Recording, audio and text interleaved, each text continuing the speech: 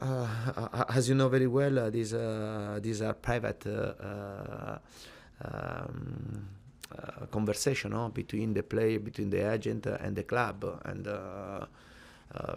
for sure, if you ask me, I hope uh, Europe uh, to stay Courtois. Yes, for sure, because I repeat, we are talking about a fantastic goalkeeper, a really good guy, and uh, I'm very happy to, to work with him.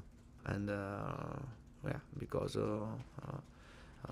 I'm very happy for his commitment, for his behaviors, and for the atmosphere that they created with the, uh, the three goalkeepers, uh, with the, uh, goalkeeper coaching uh, with the two goalkeepers coaches. Yes, I think to to continue to see this uh, this situation for for many years.